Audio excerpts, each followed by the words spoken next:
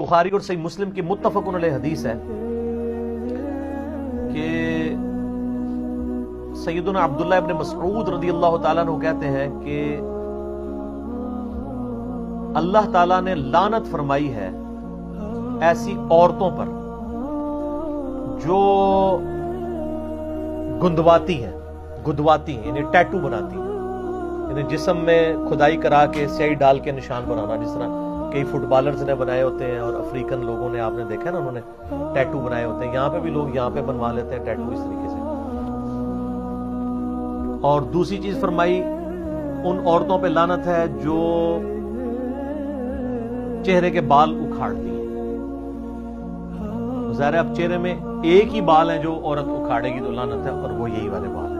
क्योंकि ये बाल और ये बाल तो उसके उगते नहीं है। और अगर ये बाल उग आए तो इसमें औरत पे वाजिब है कि ये बाल उखाड़ेगी।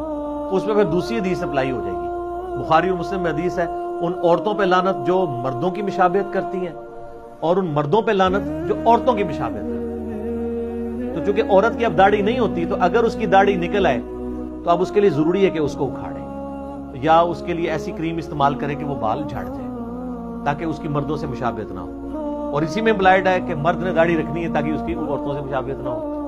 लिबास में भी गेटअप में भी